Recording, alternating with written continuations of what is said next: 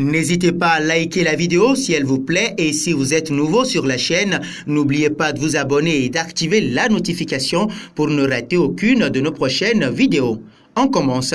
Invité de Top of Foot sur RMC Sport, Olivier Giroud est revenu en longueur sur la relation qu'il entretient avec Karim Benzema, lequel est blacklisté par Didier Deschamps depuis 2015 après l'affaire de chantage envers Mathieu Valbuena, une situation que l'attaquant des Bleus qualifie de gâchis. Cela fait quasiment cinq ans que l'attaquant du Real Madrid n'a plus remis les pieds à un rassemblement des Bleus. Pourtant, l'ancien Rodanien affiche une excellente forme du côté des Pyrénées sous la tunique blanche. Persona non grata en sélection nationale depuis l'imbroglio et son implication présumée à l'affaire Valbuena, le Madrilène ne fait pas partie des plans de Deschamps. Souvent objet des critiques, Olivier Giroud regrette cette situation.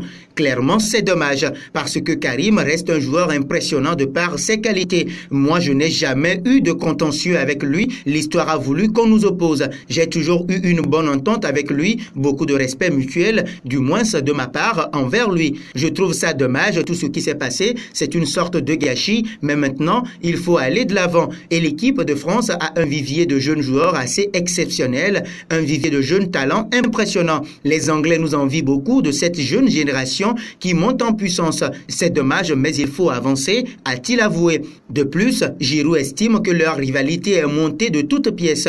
Bien sûr, à l'époque, quand on m'a reproché injustement l'absence de Karim, ça m'a touché. Les sifflets des personnes qui ne voulaient peut-être pas me voir à la pointe de l'attaque française avant l'Euro 2016 avec l'équipe qui avait titré Le Mal-Aimé. J'en parle dans mon bouquin Toujours y croire chez Plombe. Ça m'avait touché et affecté mes proches, mais j'ai continué à prouver que je méritais ma place et que cette rivalité supposée avec Karim était créée de toutes pièces par certaines personnes. Je n'avais rien à voir avec ça, on joue simplement au même poste. C'est arrivé, mais j'ai bien réagi par rapport à ces difficultés, a renchéri le numéro 9 des Bleus. De son côté, l'avant-centre Merengwe a récemment évoqué sa mise à l'écart de l'équipe de France dans un entretien à Movistar Plus.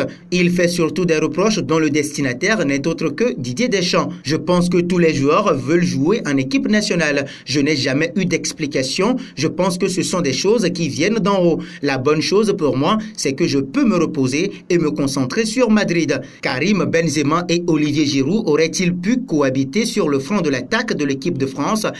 N'hésitez pas à livrer vos avis en commentaire.